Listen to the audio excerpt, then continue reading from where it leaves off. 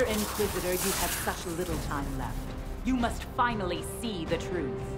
Elven magic already tore the sky apart.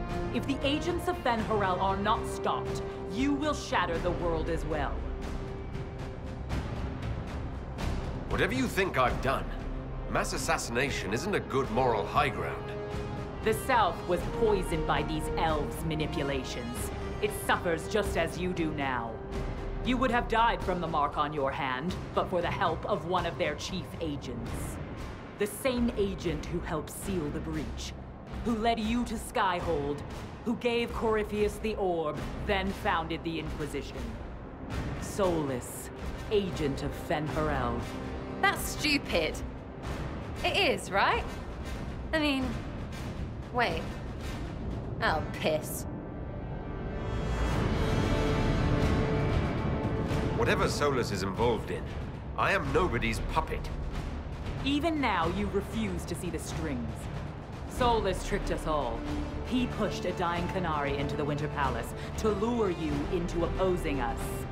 Without him, we could have brought the South peace and wisdom along the gentle path.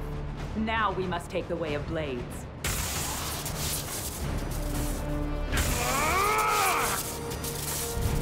Panahedan, Inquisitor. If it is any consolation, Solas will not outlive you.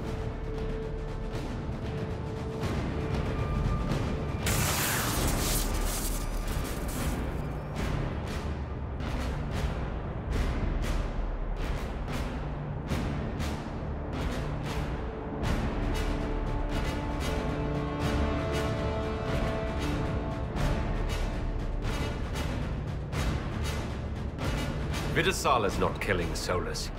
I'm killing Solas. Come on.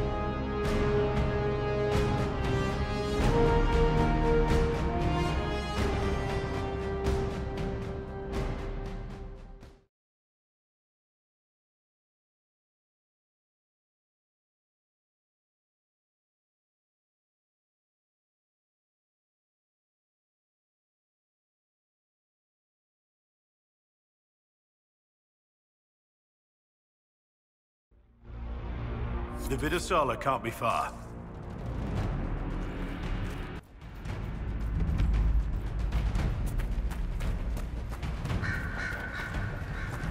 There, on them.